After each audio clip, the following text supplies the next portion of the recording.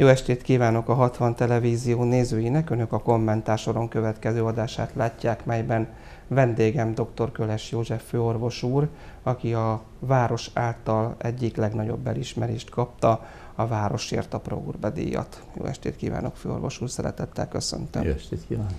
És köszönöm azt is, hogy elfogadta a meghívásunkat. Én köszönöm az invitációt. Főorvos úr, amikor mi beszélgettünk arról, hogy ebben a műsorban vendégként meghívom, én azt mondtam önnek, hogy legyen ez egy portré az ön életéről, az ön munkásságáról, önről, családjáról. Ugye egy nagyon szép kitüntetésnek a tulajdonosa. A kitüntetés átadáson látszott is a megilletődöttség, illetve az a meghatottság, amely elkísérte az egész életét főorvos úrnak a tevékenységét méltatták ott is a laudációban. Kezdjük talán akkor az emlékekkel, hogy mikor 60-ba került, hogy emlékszik vissza erre az időre? Azt gondolom, hogy egy ilyen díj átadásakor, illetve elnyerésekor az ember nem is maradhat meghatottság nélkül. Hogy mikor kezdődött? Voltak éppen 1961-ben, mert a, a, a gimnáziumi tanulmány, amit a Bajzában végeztem. Azonban turaiként 60-ban, 1971-be kerültünk feleségemmel együtt, amikor az orvos egyetemet elvégezve, hát munkába álltam az akkor e, Városi Tanács kórházában, a mai Albert Schweitzer kórházban. 47 esztendeje múlott néhány napja. Hosszú volt az idő, de azt mondhatom, hogy szép volt ez az idő. Akkor fiatalok voltunk, most már régóta vagyunk fiatalok. De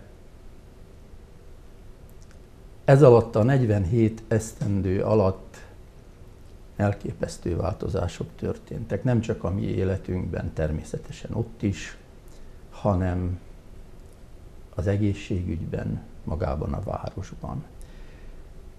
És ha végig gondolom, akkor ezeknek a változásoknak valamilyen szinten talán ott a háttérben magunk is részesei voltunk. Hogy honnan indultunk? Egy faluból, Turáról. És az ember hívőként azt mondhatja, hogy hálát kell adni azért a fölöttünk lévőnek, hogy olyan közösségbe, olyan családba bocsátott útra bennünket, amilyet én akkor kaptam.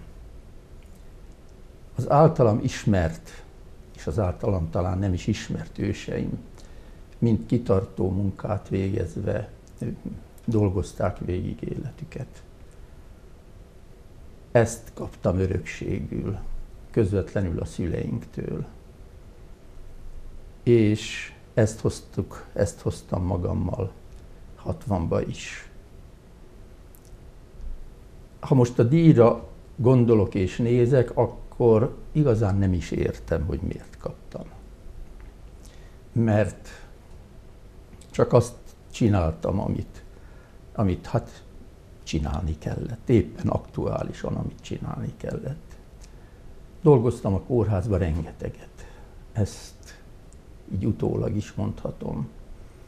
Hiszen az ember főként orvosként vagy egészségügyben dolgozóként az ébren töltött idejének a, a túlnyomó részét a munkahelyen tölti ha még az ügyeleteket is beleszámolom, akkor hát a 85%-át hangsúlyozom az ébren töltött időnek. Mert hazamentünk este, akkor a gyerekek már félig meddig a iskolai részen túl voltak, vacsora, fürdés, fekvés, reggel keltünk, óvoda, iskola, munkahely, de az ébren töltött időnk túlnyomó részét bizony a munkahelyen töltöttük. Ez így történt 45 évig, két éve már egy kicsit lazábban, mert nyugdíjasként eh, hetente már csak három napot dolgozom, és hát ügyelet nincsen már. Most látom, hogy, hogy lehetett volna úgy is élni. De azt is megkérdezem, azt, azt pedig minek? Tehát sokat dolgoztunk, mert dolgozni kellett, dolgozni jó volt, dolgozni szép volt, és dolgozni érdemes volt. Az egészségügy egy külön világ, ahol emberek vannak ránk bízva, és azokért, az emberekért nekünk voltak éppen mindent meg kell tennünk, ami erőnktől és ismereteinktől telik. Hogy ez sikerült vagy nem sikerült, azt nem tudom. Ezt majd egyszer ki tudja mikor, ezt majd elém tárják, és az lesz az igazi vallatás. És ott lesz vagy díj, vagy hát díj megvonás. Főorvos úr említette 1971. Akkor orvosként lépte át a akkori Városi Tanács Kórház épületét. Hogy kezdődött az orvosi pályafutás? Milyen, milyen orvosként végzett? Hol végzett? Mit lehet tudni a tanulmányairól, a első munkás évekről? Igen, hát segédorvosként kezdtük, ma rezidensnek nevezik ezeket a segéd, akkori segédorvosokat, hiszen még szakvizsga nélküliek a, a segédorvosok, azok voltunk mostani rezidensek is. 76-ban belgyógyászati osztályon kezdtem dolgozni, 1971-ben és 1976-ban szakvizsgáztam. A belgyógyászat öt esztendő a szakvizsga időszaka. Azt szoktam mondani, hogy, hogy a belgyógyászati szakvizsgát meg lehet csinálni, de a belgyógyászatot megtanulni tulajdonképpen nem lehet. Egy, ma ez egyébként egyre inkább így van, annyira részekre osztott, hogy egyes részei a belgyógyászatnak is óriási tudományágnak tekinthetők. Nem is tudhatja ezt az ember, ezért most is gondolom azt, amit mindig gondoltam, hogy, hogy a beteget magát kell egységnek nézni. Az embert kell szemlélni, vizsgálni, annak testi és adott esetben lelki gondjaival együtt. Tehát 76-ban szakvizsgáztam, és már szakorvosként e, még több feladatot kaptam. Voltam a véradónak vezetője egy esztendeig, amikor a korábbi vezető elment e, egy másik kórházba dolgozni. Nagy tanulságokat lehetett akkor leszűrni, mert igazándiból vezetőként akkor kerültem először olyan helyzetben, ahol, helyzetbe, ahol hát emberekkel közvetlenül vezetőként kellett dolgoznom. Nem volt egyszerű. Én magam fiatal voltam akkor, és hát a munkatársaim, az ottani munkatársaim között bizony voltak nálam jóval idősebbek is.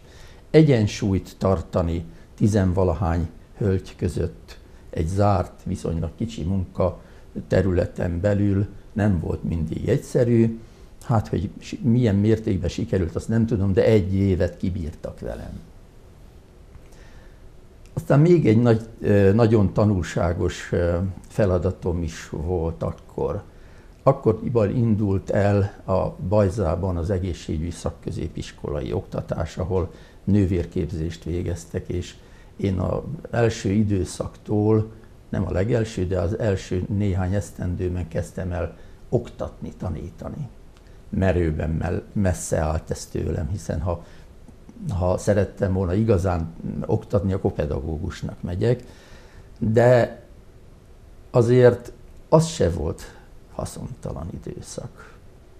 Mert amellett, hogy még azokat a szakmai területeket is időnként újra és újra át kellett nézni, amiket az ember nap, naponta nem nagyon használt, mert el kellett, át kellett adni a tudást, el kellett mondani az ismereteket a, a nővérkéknek, a, a, a tanulóknak. De azt, hogy hogyan kell bánni, akár viselkedni adott esetben fiatalokkal, azért az nem volt egészen haszontalan számomra sem. Hát közben megszülettek a gyerekeink, feleségem gyógyszerészként dolgozott, dolgozik ma is még, és három gyermekünk megszületett, és nem győzök elég hálát adni, megint csak azt mondom a fölöttünk lévőnek, hogy, hogy a feleségem lett a feleségem, aki több, mint felem. Vagy talán azt mondhatom, hogy a jobbik felem. Ennek a díjnak minimum 50 százaléka, ha nem több, a feleségemet illeti. Meg a gyerekeimet, meg amit mondtam, valamennyi ősömet. Ugye a családi háttér az nagyon nem mindegy, hogy milyen támogatást kap, és főorvos úr említette többször a transzcendenst felettünk lévőt, ugye a lelki ismeret hangot, ami sokszor belülről figyelmeztet, sokszor pedig jeleket ad. Amikor ön ilyen neveltetést kapott, és ilyen indítatással indult az életbe, annak idején szüleitől, őseitől szintén említette, Tóra egyébként is egy ilyen jellemzően, ilyen jellegű, ilyen hangulatú, ilyen lelkületű település, most már város. És azért abban az időszakban, amikor ide került, akkor még azért ez, ez a vallásosság nem, nem volt, tehát úgy mondjam, ilyen demokratikus jelleggel elfogadva. Nehéz volt a, azzal a egyensúlyjal megküzdeni, amikor, amikor volt egy ideológia, amit megkövetelt egy munka, illetve hát volt egy hozott értékrend, amit pedig az ember lelkiismerete szerint tett. Azt kérdezte, hogy nehéz volt-e? Hát minden viszonylagos. Akkor se csináltam mást, mint végeztem a dolgomat. Azt nagyjából mindenki tudta, hogy a mi szemléletünk az milyen jellegű. Voltak az életünkben bizonyos pontok, ahol döntéseket kellett hozni. Addig, amíg a nagyobbik, legnagyobbik gyermekünk nem került iskolába, és abba a helyzetbe, hogy most hittanóra, nem hittanóra. Addig többnyire hazajártunk hétvégeken, amikor tehettük turára, és ott természetes volt, hogy templomba, misére megyünk vasárnaponként. Ez volt egyébként az egyetemen is. Vasárnap az azt jelentette, hogy ünneplő ruhát öltök, vagy öltünk és elmegyünk a templomba. Amikor Éva lányunk iskolába került, akkor azt a döntést kellett meghozni, hogy, hogy hogyan csináljuk ezt tovább. Hogy ugyanígy hétvégeken hazajárunk Turára a misére, templomba, vagy azt mondjuk, hogy mi így élünk ilyen módon, és felvállaljuk azt, amit egyébként természetes módon fel is kell vállalnunk. Hát így döntöttünk, és gyakorlatilag 1976-77 óta mi itt 60-ba járunk, jártunk misékre, templomba minden alkalommal, vasárnap a gyerekeinkkel együtt. Ha ügyeletes voltam, akkor a feleségem ment a három gyermekünkkel. Érdekes módon emiatt én soha nem éreztem igazi hátrányt. Tehát én nem éreztem azt, hogy engem a szakmába visszatartottak volna, mert hát látták, hogy én dolgozom, csinálom azt, amit tennem kell, és a tőlem telhető maximális erővel. Még egyszer mondjuk, hogy jól vagy rosszul, ezt nem tudom megmondani, de hogy a szándékom az a teljesít, maximális teljesítmény volt, ez mindig ismert volt. Egyet viszont kikerültem, mert soha nem e, szólítottak arra fel, hogy legyek párttak például, vagy menjek el a a továbbképzés a marxista-leninista esti egyetemre. Ez nekem nem volt egyetlen egy alkalommal se egy ilyen választandó, dönt, eldöntendő kérdés az életembe. Úgy tűnt, hogy azzal, hogy én munkámat végzem, azzal megelégettek, nem akartak engem ideológiailag átformálni. És így éltünk, így élünk ma is. Elmondom, bár ez lehet, hogy kicsit dicsekvésnek számít, de 984, 1984, 80, hogy is, pillanat, 84-85 óta voltam a egyházközség képviselő testületének a tagja, és 1987-88-ban lettem az elnöke. Tehát még az átkosban, tehát még a szocializmusban. Ez se verte az ember nagy dobra, de voltak éppen nem is titkolta. Mert úgy se tudtam volna eltitkolni, még ha akartam volna se, akkor is tudtak mindent rólunk, még azt is, amit nem, eh, ami nem történt meg sokszor. Tehát ez természetes életforma volt, és ezt, hát ezt a, a világi elnöki funkciót, ezt 30 esztendeig csináltam, és 70 éves koromban úgy illik, hogy olyankor beadja az ember a, a lemondását a kora miatt. Ezt meg is tettem, hál' Istennek alkalmas utód van ezen a funkción jelenleg is. Tehát nem volt gondom ilyen szempontból. Most panaszkodhatnék, hogy vagy most én hősként állíthatnám be magam. Nem kellett hősnek lennem, nem bántottak. Igaz, hogy dolgoztam. Főorvos úr, család. Ugye Ágika a felesége gyógyszerészként tevékenykedett, aztán még most is tevékenykedik, és aztán Vazul, Ágota és Éva lánya. Igen. Beszéljünk egy kicsit a családról, a gyermekeiről. Mondtam, hogy feleségemnél nincs jobb feleség.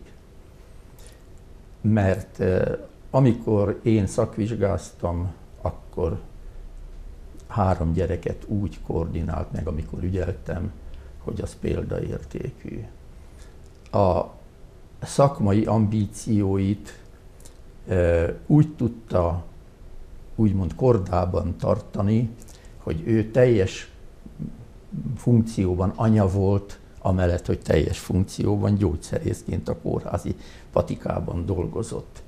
És a szakvizsgáimnál mindig ő segített. Hát nem is, nem akarom ezt tovább ragozni, ezt, ezt nem tudom maximális überelni. Háttér. Gyerekeim. Hát három szép és okos és jó gyerekünk van.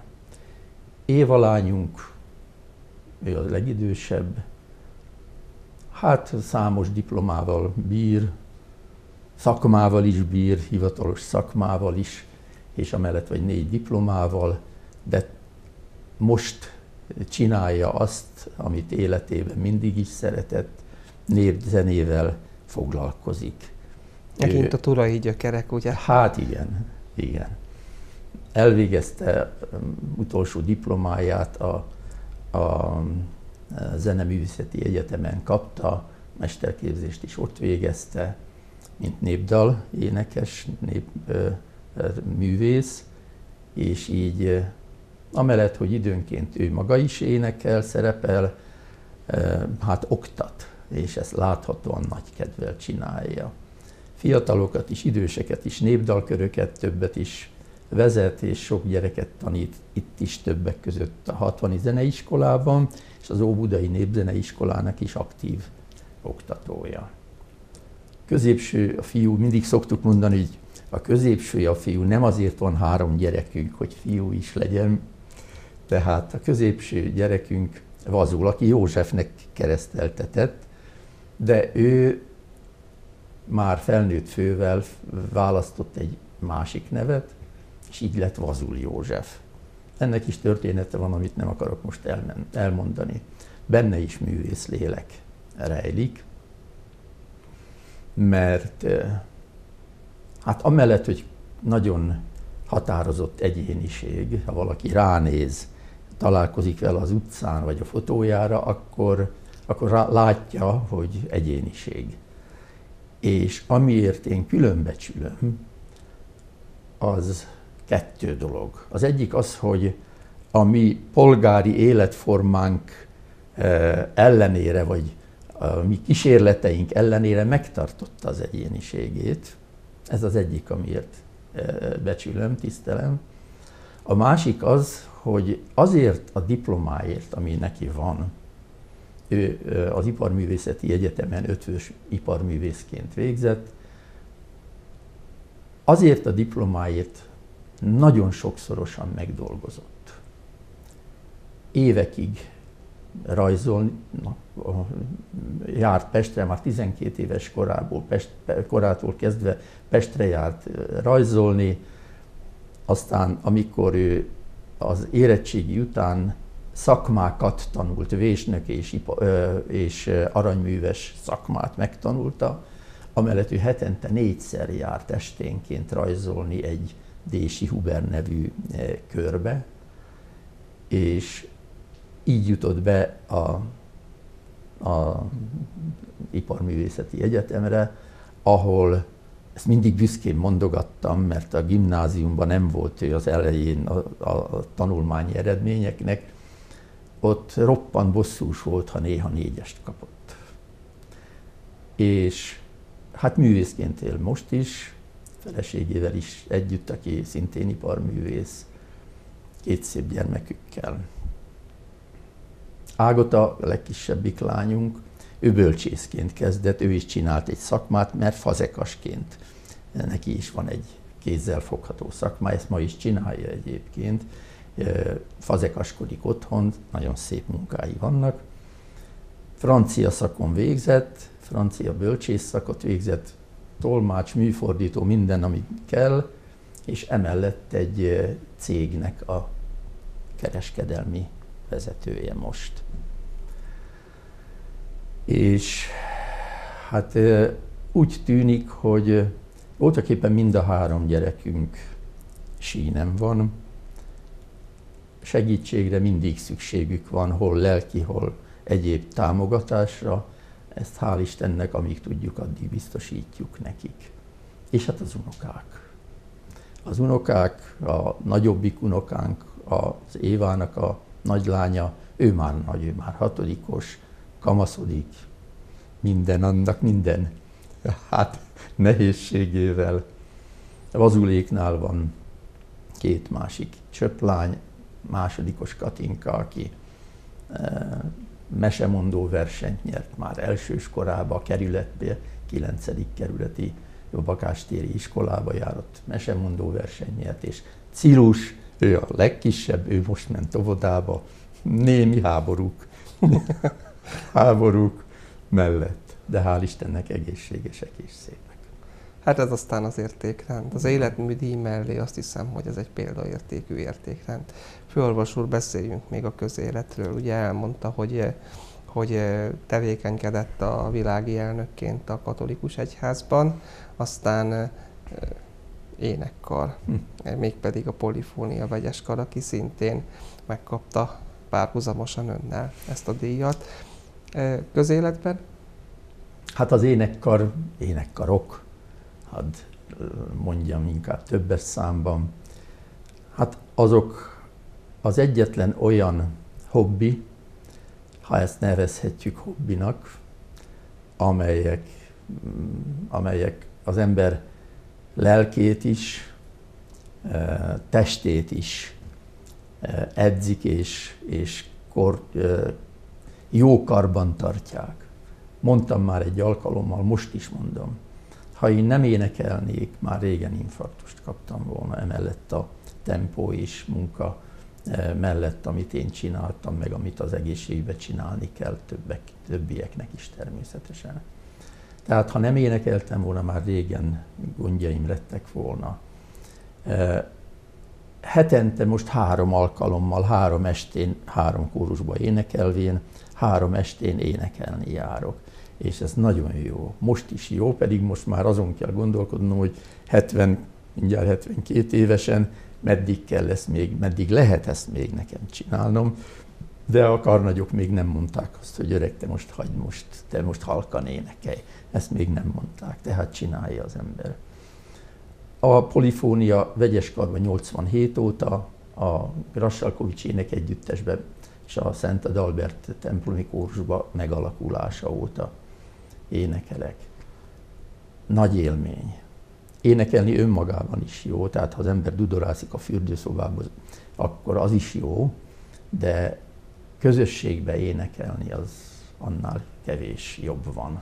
És jók a közösségek. És jók a közösségek, mind a három közösség nagyon jó, ahol az ember jól érzi magát, ahol az ember egésznek érzi magát, és egy olyan közösség részeként, részének érzi magát, ahol mindenki ugyanazért dolgozik. Nem kis dolog ám ez. Ahol egy csapatba egyfelé húz mindenki. Nagy ajándék. Ebben nekem hál' Istennek részem van. Jártuk így az országot, járjuk, énekelünk 60-ban nagyon sok alkalommal, és ezt mindig örömmel tesszük. Néha áldozatot is jelent, ez is igaz, főleg a család részéről. Megint a feleségemre kell visszautalni, aki ezt a három estét nemhogy zokon venné, hanem tudván azt, hogy nekem erre szükségem van, volt és van, ez, ez természetesnek fogadja, sőt ő beszélt arra rá, hogy először menjek eh, el a, az akkori pedagógus kórusba énekelni. Tehát az éneklés az egy lét, létszükséglet ebben a helyzetben. Aztán csinált az ember persze mást is. A, az élethelyzetek úgy diktálták, hogy 1990-ben, majd pontosabban 91 januárjában megcsináltuk itt 60-ban Máltai csoportunkat. Az 19 esztendeig vezettem. Az se volt egy olyan munka, ami, ami nagy terhet, nem jól mondom, ami túlzott terhet rót volna rám, mert az az eredmény, amit a csoport tagjaival mi elértünk, eh, az, az nem volt kicsi és az embernek mindig a siker adja a következőre az erőt. És közben dolgoztam a kórházba természetesen, megcsináltam a geriátria szakvizsgát, aztán már öregfővel a rehabilitációs szakvizsgát, és hát eljött az az idő, hogy most már az ember békességbe szeretne egy kicsit élni, úgy is élek. Hát, hogy önmagammal békébe vagyok-e, ez egy másik kérdés, de próbálom hát békességben eltölteni már öregedő napjaimat. Békességben, bölcsességben és szeretetben. Főorvos úr, köszönjük szépen, hogy eljött, elfogadta a meghívásunkat. Gratulálunk őszinte szívvel ehhez az eredményhez, ehhez a díjhoz, az életműdíjhoz mondhatni így, hogy föltették a koronát, és hogy elismerte a város vezetése is azt, hogy főorvos úr valóban ebben a városban egy meghatározó személyiség mai napig is. Köszönöm a meghívást, a kitüntetést is köszönöm. Egy város díja az mindig egyfajta visszaigazolást jelent az embernek. Mert azt mondhatom, hogy mi azok a turaiak vagyunk, akik 47 esztendeje 60-ban élünk. És úgy tűnik, hogy nem csak mi fogadtuk el városunknak 60 hanem 60 is elfogadott minket. Ezt köszönjük. Mi is köszönjük főorvos úrnak. Kívánunk nagyon jó egészséget és még hosszú boldog éveket családja és a közélet életében is. Köszönöm szépen, ez a legfontosabb. Kedves nézőink, Önök dr. Köles Józsefet hallották az életéről, a pályájáról egy portréműsor keretében. Én köszönöm, hogy velünk tartottak, tartsanak velünk a jövő héten is, ugyanebben az időben várom Önöket. Viszontlátásra!